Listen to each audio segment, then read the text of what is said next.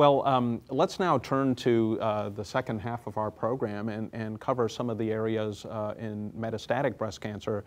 Uh, this, of course, continues to be a challenge. It's an area that's more personalized. Uh, it is an area where we've developed a lot of new options and have a lot of interesting data, hopefully that will be translated into the early stage setting. Uh, so why don't we start with the uh, domain of hormonal therapy?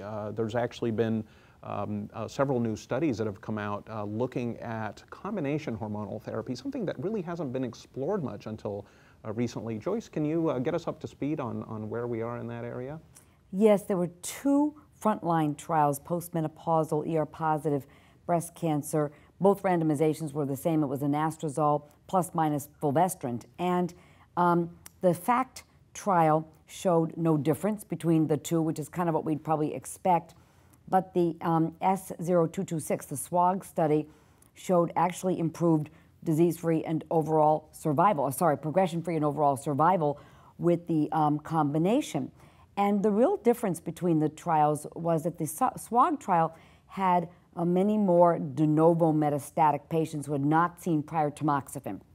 But the fulvestrant dose was the lower dose. It was the 250 milligrams. It wasn't the, the new higher dose. So we're really still uncertain using the higher dose of the fulvestrant, which I think we all do now with the 500 day, you know, 0, 14, uh, 29, and then monthly thereafter, whether really the addition of the um, anastrozole would make a difference, et cetera.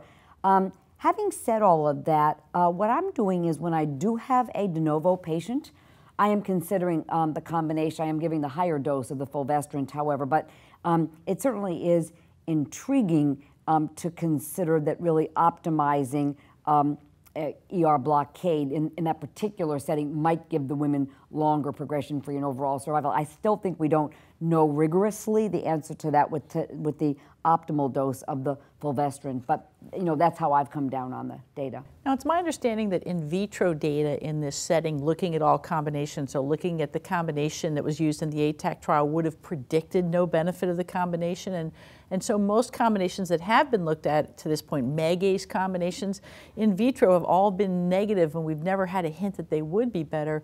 But the fulvestrant AI data in, in mice or whatever the laboratory animal is that's being used uh, does show synergy. And so there were hints prior to going into this trial that there might be something there.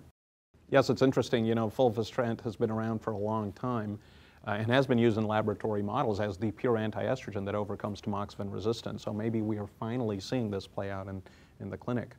Uh, the, the other area that, of course, has uh, generated a lot of interest, led to uh, FDA approval of a new drug uh, in hormonal therapy, which has been quite a while since we've had a new drug, is the combination of everolimus and, and uh, pretty significant benefits that we're seeing there. Can you uh, update us on the latest there, Christy?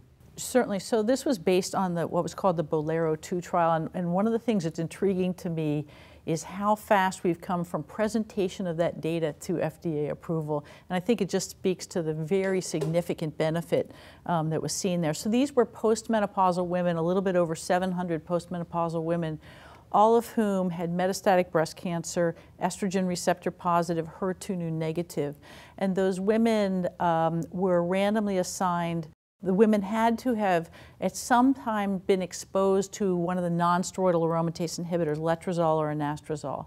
It did not have to be their last therapy, however. And they were then randomized to exemestane with or without the everolimus. Uh, it was a two to one randomization, and progression-free survival was the statistical endpoint. Um, but if you look at the investigators' benefit, it was about a four and a half month improvement. If you look at the independent review, it's a seven month benefit in progression-free survival, favoring the everolimus. Um, and it has some very unique toxicities, so I think we're all learning about this uh, class effect of um, the uh, non-infectious pneumonitis and some renal insufficiency and stomatitis. It's, it's very unique for us um, as this class of drugs, but I think it's really a huge step forward um, in this field, and that's why it's now moved into the adjuvant setting so quickly. I just want to mention that um, I had come across an abstract, perhaps it was a publication, looking at prophylactic steroid mouth rinses. And so everybody's got their miracle mouthwash formulation, And if you, um, the pharmacist has started to crush the hydrocortisone and put it into the Miracle mouthwash, and it's a prophylactic swish and spit three, four times a day. Has I have not had to dose reduce once since that time, and I was having some real issues on stomatitis in the beginning, you know.